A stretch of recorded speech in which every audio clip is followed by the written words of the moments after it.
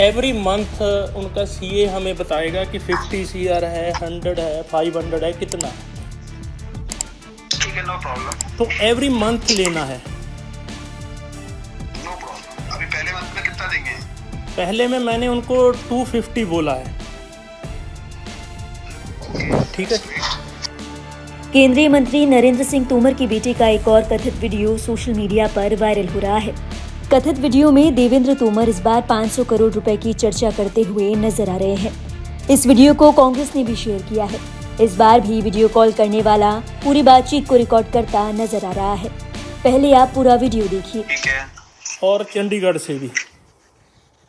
ठीक है। ठीक है तो इनको क्या है भैया उनके पास एवरी मंथ उनका सीए हमें बताएगा कि 50 सी है 100 है 500 है कितना है।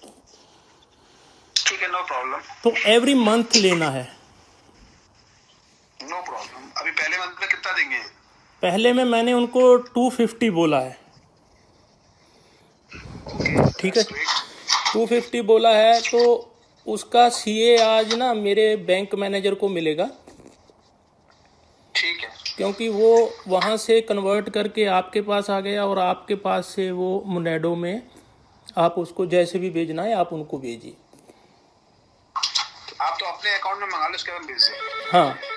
तो मुनेडो में ना कम से कम 50 परसेंट रखिए अपना इक्विटी स्टेक रखेंगे नो प्रॉब्लम ठीक है ना? मनी का एक बार प्रॉपर हो जाए उसके तो अपन कर लेंगे नो प्रॉब्लम हाँ जी। मनी का मैंने आज उनको बोल देता हूँ कि जी आप चैनल कीजिए हम रेडी हैं। राइट राइट राइट ठीक है जी? तो मैं आज शाम तक आपको करके सारा तो बताता हूँ ठीक है जी? ठीक है? इस वीडियो को मध्य प्रदेश कांग्रेस ने अपने सोशल मीडिया हैंडल एक्स पर पोस्ट किया और लिखा बीजेपी सांसद और केंद्रीय मंत्री नरेंद्र तोमर के बेटे देवेंद्र तोमर का एक और वीडियो वायरल। मंत्री पुत्र इस बार 500 करोड़ की डील करते नज़र आ रहे हैं। मोदी जी पूरा मध्य प्रदेश निगलना है। एवरी मंथ उनका सीए हमें बताएगा कि 50 सी है। इसके बाद कांग्रेस प्रवक्ता सुप्रिया श्रीनेत ने इस वीडियो को शेयर किया और लिखा केंद्रीय मंत्री नरेंद्र सिंह तोमर की बेटी का एक और वीडियो वायरल हुआ था जिसमें वो बिचौलिए से 100 करोड़ की लेन देन पर बात कर रहे थे। आज एक और वीडियो आया है जिसमें भैया जी 500 करोड़ की डीलिंग कर रहे हैं लेकिन पीएम मोदी की ईडी, आईडी और सीबीआई ने आँखें मूंद ली हैं। बता दें कि इस कथित वीडियो की पुष्टि लाइव हिंदुस्तान नहीं करता है लेकिन मतदान के ठीक पाँच दिन पहले वायरल इस वीडियो पर सियासी कीचड़ ज़रूर उछाला जाएगा। एक वीडियो आया है व्हाट्सएप पे चल रहा है सोशल मीडिया के सारे प्लेटफॉर्म पे चल रहा है, जिसमें हर महीने 500 करोड़ तक की राशि लेन देन की बात हो रही है। ये काला धन है। जिस काले धन की रिकवरी की बात मोदी जी करते थे कि काला धन आएगा तो पंद्रह लाख रुपया जेब में आएगा हर भारतवासी के। आज आज मध्य प्रदेश के निवासियों और भारत के निवासियों के पेट और जेब काट के पैसा भ्रष्टाचारियों के पास जा रहा है। मोदी जी कहते थे, ना खाऊँगा, ना खाने दूँगा। और आज, रिश्वतखोरी, कमीशनखोरी, मुनाफाखोरी, काले धन की हेराफेरी मध्य प्रदेश में चरम पर चल रही है। तो ये सवाल तो मोदी जी से पूछे जाएँगे।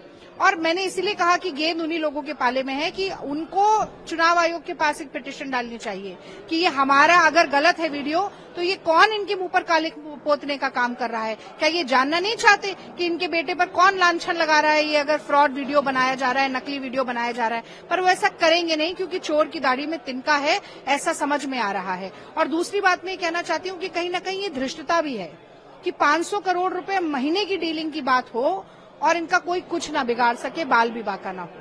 आज कहाँ है ईडी कहाँ है सीबीआई कहाँ है इनकम टैक्स चुनाव आयोग के की निष्पक्षता भी कहीं ना कहीं संदेह के घेरे में आएगी, अगर चुनाव आयोग एक सतह स्वतः संज्ञान नहीं लेता है। और इसी के साथ साथ नरेंद्र सिंह तोमर को अगर बर्खास्त नहीं किया जाता है तो क्या किसी भी तरीके की निष्पक्ष जाँच संभव है?